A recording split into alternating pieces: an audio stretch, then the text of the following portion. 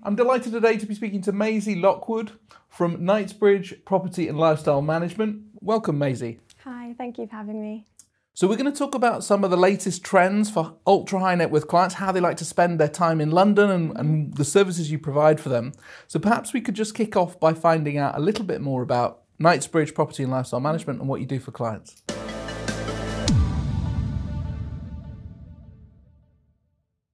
So, Knightsbridge Property and Lifestyle Management, we are a luxury property management and lifestyle concierge company. Mm. Um, so, I work in the lifestyle side, so I'll start with that first because that's my favourite.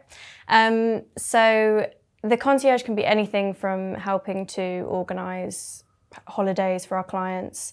Um, buying tickets uh, to often sold out events, um, getting them access to the top restaurants in London, things like that. We do a lot of uh, staff recruitment, mm. so uh, recruiting nannies, drivers, you know, um, housekeepers. Um, and then the property management side is really just managing our second homes for our clients. Mm. Um, so our property managers will handle all maintenance, they'll do inspection reports, uh, we do small to large scale renovations. Um, and it's really just keeping the properties to the best standard, whether the client is is in town or not.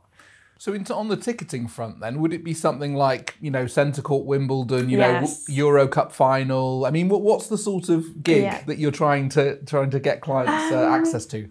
Well, I mean uh, F1. So I recently yeah. had a um, an inquiry for for an F1 ticket. Usually they're sold in pairs. They wanted just one. Mm. So difficult requests like that. Um, we get event requests the day before an mm. event. You know, a sold out event. So. Um, you know we've managed to come through uh, you know within hours with some with some tickets and you rely then on your network to go out yes. make the calls get the get the favors you know that that's i guess yes. where you're it is it's all about who you know Okay, really is. interesting. Great. And what? Do, how do clients engage you? Do they, you know, they, they become a client and pay like an annual retainer, and then they buy these things on top? Well, how do they work with you? So, um, so our clients pay a membership fee, like an annual membership mm. fee, and then, um, yeah, if there's uh, tickets and things like that are, are charged on top. Mm. Um, but they'll have a certain amount of requests that they can do per month. It's very bespoke compared to, to depending on what the client wants mm. and what they need. Um, we have some. We don't just do sort of private clients. We do some corporate memberships as well. Mm. So at the moment, we're working with uh, a private bank in Mayfair, um, serving their top clients, mm. and they use our lifestyle concierge services. Um, and I think that the the corporate lifestyle be- benefits really well with using our lifestyle concierge. I think that it's had great reviews, so we're looking to build on that as well. So they can direct their clients to work with you because that saves them, it gives them an option yeah. to provide better service yeah, to their it's clients. Just, it yeah. just enables the the you know the bank to give a better service to their clients, mm. um, and yeah. So while their top clients are in in town, we'll basically take care of their reservations, things like that. And are there any parts of the world that you find clients come from, in particular? I mean, for example, there's a lot of Middle Eastern high net worths come into mm. London or Asian families. I mean, do you find that there's certain demographics, or it can it's really yeah. global? And and and who? Um, so most of I would say most of our clientele are uh, Middle Eastern, so mm. Dubai, Qatar, Saudi. We do have some clients from the USA, from Hong mm. Kong. We've got Russia, Ukraine, yeah. Austria. I mean, it's really the majority, yes, uh, Middle Eastern, but um, but we work worldwide. Um, yeah, fantastic. And, and and on the travel front, I mean, what sort of things are you arranging? I imagine you know private jets, very exclusive yeah. type breaks, yeah. one-off type thing. I mean, give us a flavour of the sort of thing um, you might do on the um, Well, anything yeah. from uh, so, for example, we've got a family flying out to the Maldives this Christmas. Um, so we organise from start to finish. Um, we handle their itinerary when they're staying in the resort as well. They've got some amazing activities lined up. Mm. you know, access to the Windsor Suite in Heathrow, mm. the VIP chauffeurs, and and then we do sort of short trips. So I'm just giving examples yeah. here. It's the best way to, to describe. Um, I had a private helicopter request for a shooting event.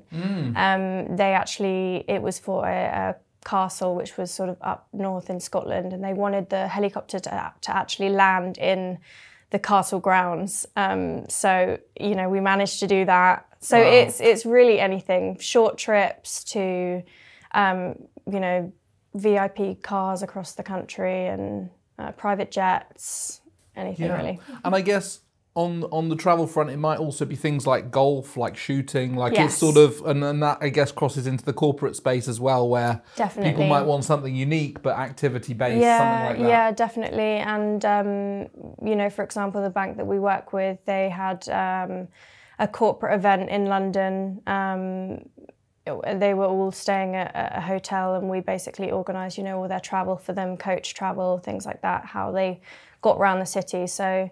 Um, really anything. And do you do anything on, on the fashion front as well? I mean, on social media, you see a lot of the guys that will get uh, the trainers for the footballers or the or the, the exclusive clothes and things that they want. Yes, I mean, is that something that you see as yeah, yeah. Um, a lot of a lot of our clients actually didn't know that we that we sort of offered that, Mm. but that's a really big part of, of what we do, and we have the contacts to be able to do it. Um, they can WhatsApp you, right? I'm looking for Yeah, this, and then you can yeah. use the network to. Discontinued um, Hermes bags, things like that. Um, so we have great contacts in London and worldwide, um, and everything that we've been asked so far, we've been able to source. So yeah, um, Hermes is a is a is a top one. That's always you know Yeah. we're always on looking demand. for that. Yeah. perfect. And obviously, London's restaurant scene is very hot, but people coming in from out of town want to know, want a bit of navigation as to where they should be going. I mean, what do, what do you see right now as venues that are really in demand or places that people are asking for a little bit more? Um, so I would say one of the really popular ones right now is uh, the Maine Mayfair. Um, that's been really popular. It's kind of they run it a bit like a it's it looks like a, uh exclusive members club inside. It's really nice. The interiors are really nice.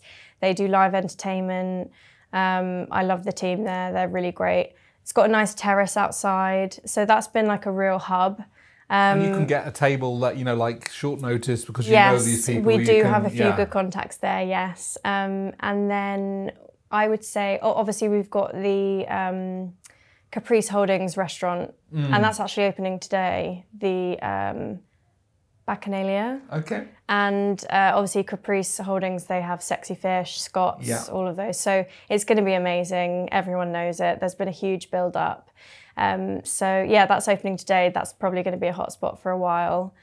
Um, another one of my favourites, uh, Koyn on Yeah. Grosvenor Street. That's a really nice Japanese. That's just opened. We've sent uh, some clients there, both private and corporate. Really good reviews. The interior is great. I mean, I could go on. And then obviously you've got the, um, you know, it's coming up to Christmas, so you've got those restaurants. Um, Daphne's in Chelsea. They do the really nice Christmas decorations. So the members clubs, you know, they're not obviously the stuffy clubs of Pall Mall necessarily what people want. Is Mm-hmm. there's the much there's a modern scene of members club. Do you find Yes. clients want that kind of style where they got something that's a bit of a base for them if they want it? Yes, definitely. Members clubs is a huge um, part of what we do, actually. Um, it's really knowing what the client is looking for. Um, some of our clients have, have come to us previously and said, "Look, I'm I'm looking at these two. What do you think would you know suit me better?" And um, obviously, you've got Annabel's, which is the it's always oversubscribed, um, and that you know that's got the events, the glitz, the glam um, a real social scene. And then you've got somewhere like Oswald's, which is a lot more understated, great for business networking. So it really just depends on what the client is looking for. We're um, assisting a, a US family at the moment to relocate over to uh, London. So again, it's finding out what, what they like to do and where they'd like to be located in London because every area offers something different. Do you cover the school side then in that kind of search, or that you work we with do yeah we do assist we do work with partners Yeah. as well because that's extremely specialist Yeah. um, especially when you start getting to you know the primary and secondary schools Um, but yeah, so at the moment we are helping them with nurseries. They've got young children, so yeah, we do get involved with that, and we have some great partners and But it's a big project to relocate, isn't it? So just having Huge. someone centrally who can look at all the Yeah, aspects is, it's is huge. helpful, yeah, I it? think um, they didn't realise sort of how much goes into it, and I think they're when it when it starts happening, they're glad that they have us. And recruitment of staff like nannies and things at home, this is part of what you would do to help families find someone who can support them. Yeah, again, that's really just um, Is that a tough market right now? Is is finding good people is normally hard, isn't it? Yes, it's very. Um, we are not in a candidate-rich market right now, um, just because of Brexit. Um, and yeah, so we we've there are a lot of great jobs on the market, and just not the the candidates to fill them, unfortunately. So, um, but yeah, we we do quite specialist recruitment, so they have to speak certain languages, have certain skills. Um, they always have to have private household experience, um, and it's really just fitting the right candidate with with the client and how they run their household. And um, we really get involved in the interview process, um, the background checks, referencing. Um, and then Because security is important for high net worth Yes. clients. Because and, and so making sure you're vetting the right people is an integral part of that role, isn't it? And that's part of, I guess, um, you know, having us here in London, we are trustworthy. We are the go to that they can sort of come to for advice, especially if they don't know the area, you know, as well as us, um, if they're relocating as well. Um, so we can advise them on, you know, salary, contracts, things like that.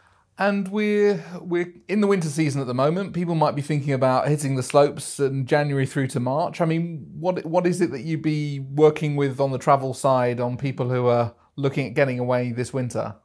Sure. So um, obviously it's start of the ski season, so we've got um, we've got really good contacts in all of the big resorts. So Verbier, Switzerland, um, and then you've got uh, Courchevel, Chamonix in France. Um, so we've got really good contacts. We're able to offer some really quite spectacular properties um, and packages for our clients.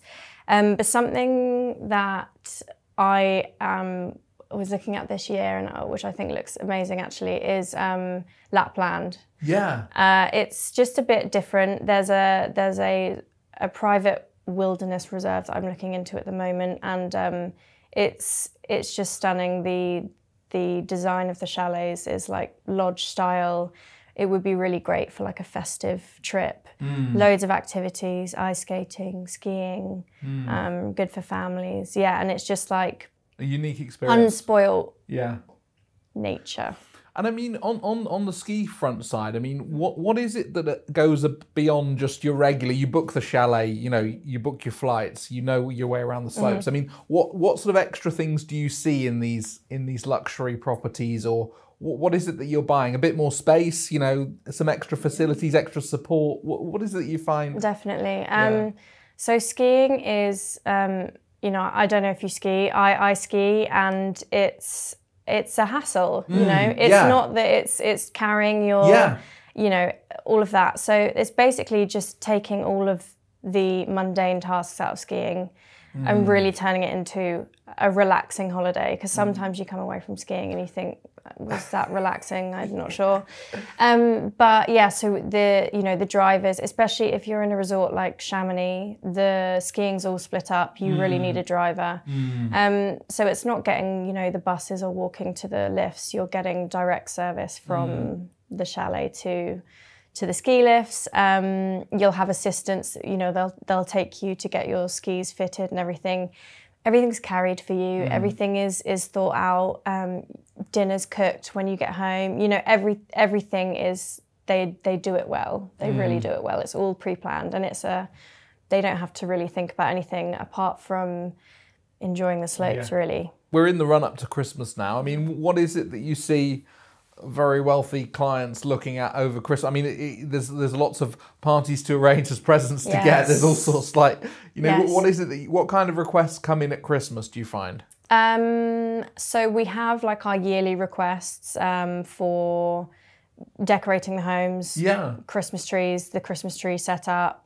Um, at the moment, we're Because that can go right. Yeah, I mean, the levels on which people can decorate Yes. lovely homes is is we work with interior designers wow. um, and you know just specialist you know decorators and designers to create something new every time um, we're doing sort of like bespoke wreaths for um, a client's fireplace and, and the stairwell at the moment um, yeah so all, all of that and then also you've got all of the events coming up to christmas um, lots of family visiting organizing travel um, finding something that the whole family can do events wise um, family activities. Um, the, the, i do have one i love doing i love christmas time for you know organizing everything for the clients but there's one request that was my favorite and we actually got a private a private visit from santa claus to her family and he did bring his two reindeer as well oh wow. and the children just loved it and it was Oh, that was really really nice yeah that was great And do, do you do you try and train your clients to say, look, don't call me on Christmas Eve expecting me to go out? You know, do you try and get do you try and manage, or is Um, it always they'll inevitably be calling you twenty third, twenty fourth?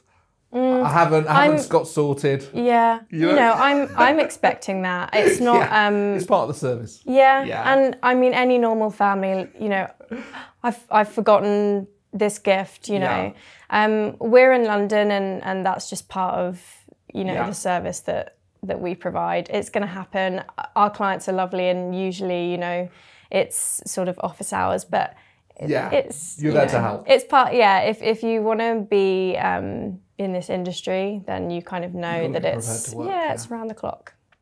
Interesting. And, and and perhaps you could tell us a little bit more about what's the most difficult thing you've you've had to solve for a client. Is there any is there any examples of things that you've been tasked to get and and that's popped to mind? Um, actually, last weekend was was pretty difficult. I had a um, event to plan within a day, and I had the space, but I didn't have tables, chairs. I needed tables, chairs, plates, cutlery, wine glasses, everything. Um, I organised a private chef, butlers, a sommelier, all within a day, um, and yeah, we made it work, and it was great. Yeah. Um, they had a great event. So things like that, we always get um, the last minute. Can I have a, a table of 10 at this restaurant, you know, at prime time? So there'll always be those requests. But um, the most difficult, I'd say, is when there's things going on in the world that we can't control, like COVID. Um, obviously, there was a lot of restrictions, closures. Um, I do remember at that time we had a um, a request for actually a fashion show in Paris um, for the Dior fashion show, and we managed to within the day get four front row tickets to the Dior fashion show in Paris, organise all the travel despite all of these closures, people not wanting to talk to us, things like that. Um, and then, yeah, another one recently we've um, had with the you know the war in in Ukraine, Russia, Russian airspace was closed. We had some clients in Russia that we had to get out of Russia to come over here. Um, so we managed that as well, Wow. and all the sort of emotions and stress that goes with it. But we managed to do it, and it's uh, so yeah. We've been we've been there in some really key situations. I think yeah. So, I mean, for people who are interested in your services, I mean, perhaps you could tell us a little bit more about why you're different uh, to, to other kind of services that Mm-hmm. they could buy on the street of uh, for concierge. Um, so personally, I think we're different just because I think a lot of concierge and uh, lifestyle services they act as sort of call centers, um, and I think that yeah, we're just very personable. We have great relationships with all of our clients. All of our recommendations come from personal experience. Um, if we're not fulfilling requests for the clients, we're we're out, we're working on our contacts to be able to get better access for them. It's a it's a full time job in itself, just keeping contacts and good relationships with people to get what we can for the clients. Um, but yeah, you know, you just have to have a, a good backbone and not take no for an answer. That's literally it. Well, terrific. Well, look, great to talk to you today. and we Thank look forward to sharing this interview. Thank you so much. The latest technical content delivered through global conversations with professionals for professionals.